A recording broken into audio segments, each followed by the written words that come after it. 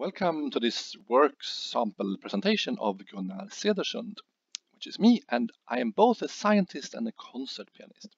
And as a concert pianist, I've, for instance, played all of the ballades by uh, Chopin, and in a couple of weeks I will play uh, 16 Beethoven sonatas in 16 days to honor his anniversary, and so on. Uh, apart from that, I'm also a choreographer, uh, working together with professional dancer and also doing my own choreographies. And uh, some of these have actually won awards and been performed internationally. But I will leave all of this for uh, the work sample of Julia Bengtsson, who is the main applicant. So I will talk about the thing that makes me unique in the world that nobody else in the world has, and which I presented, for instance, as a keynote presentation uh, at NIH and at the Swedish uh, Parliament. And all of this is based on the, uh, the research of my research group. So all of the people here you see are employed by me, uh, which is possible because of lots and lots of funding from different sources and uh, collaborations with many different scientists. And um, during the last 20 years, I've been doing mathematical models for uh, all of the main organs in the body, so here you see references to uh, scientific papers. Uh, and we have now combined them into a general physiological model that becomes patient-specific by adding patient-specific data. And then we have a specific model for a specific person, which we call a digital twin. So it's like a copy, like a twin. It looks like the person on the outside and on the inside. And we also have a software interface for this. And Sund is the name of our spin-off company. I will come back to this.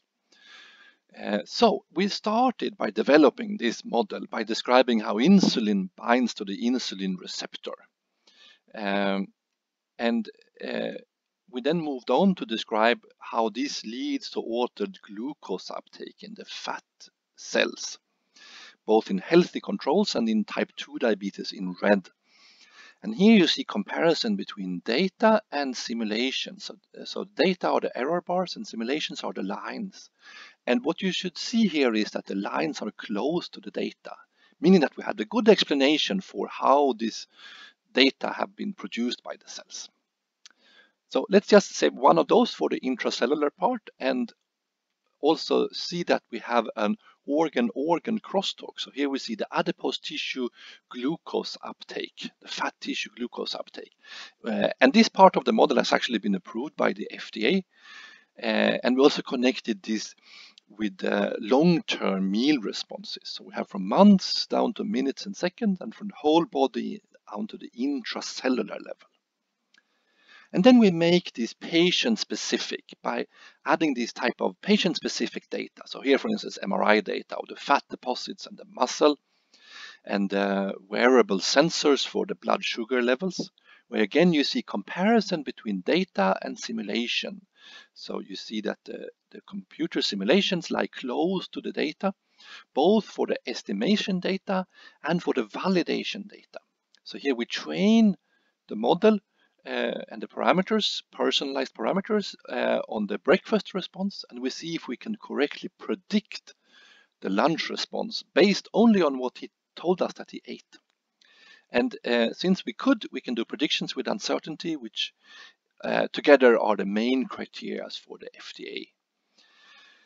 And uh, we describe heart uh, activity, blood flow, stress responses, brain activity, exercise, weight changes, and so on.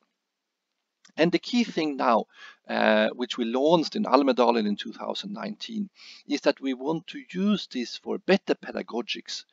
Um, and this is when the arts things comes in. So we want to tell stories that motivate patients to do more prevention and to do better compliance, so better following treatments that the doctor says. Uh, and after the launch event, this has gained a lot of attention. So we were invited to give a joint keynote lecture together with the uh, NIH NIBIB director, Bruce Tromberg, uh, and um, also given this lecture at Swedish Parliament. And if you want to see that lecture in its original form, it's here. So uh, this is the logotype which symbolizes um, what we want to do so we have this digital twin technology, a computer copy here of a cedar tree, the first part of my last name. which is developed by Sound Science. And Sund is the Swedish word for sound.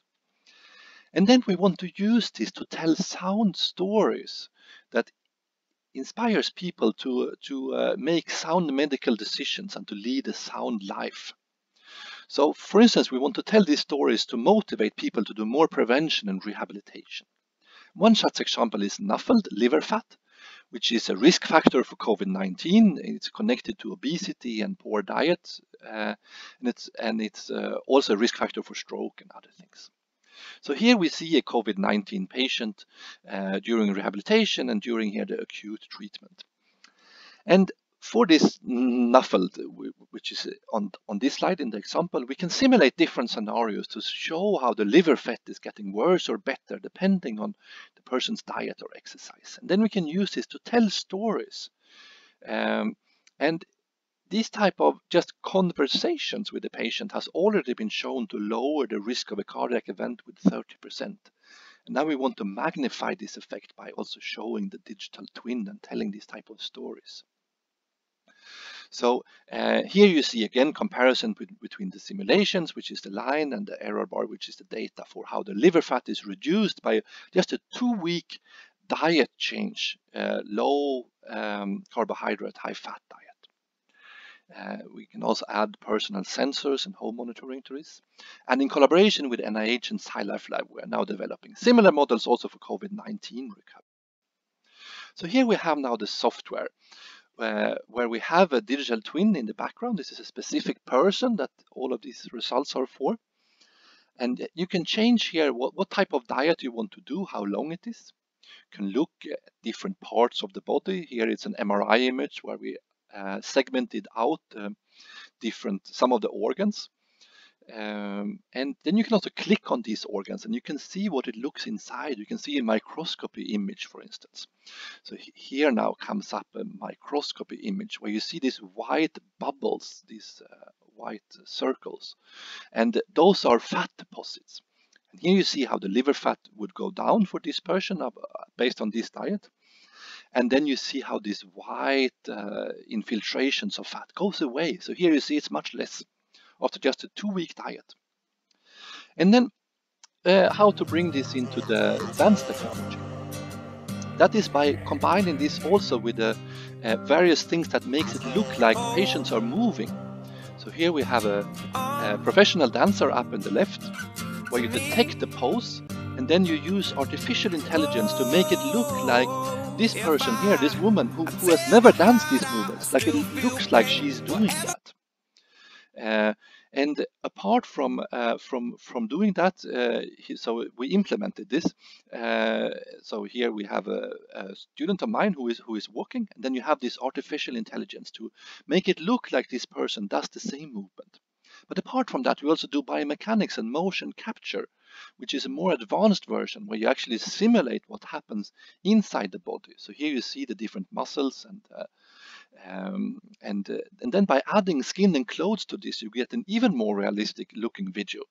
This will be part of the project, uh, which can be included in choreographies. And the unique thing that we can do that nobody else can do is to also connect this to the medical processes. So you can look at what happens in the calf muscle and right and left hand side, for instance. So here now we can uh, uh, also look at what happens during the dancing. So here we can click on the blood. We have clicked on the blood and we can look at cortisol levels and fat, how they are changed in this particular case during a 100 minute uh, dance session. So to sum up my contributions here, part of it has to do with me as a pianist. I will uh, uh, lift out uh, the, the, the key things that happens in the music and collaborate with Julia to to develop a joint uh, choreography. But then the unique thing that I have is this digital twins that looks like patients on the outside and on the inside, and uh, audience members and patients will be included in the choreography. And no one else in the world has this technology to both visualize movements and show health benefits.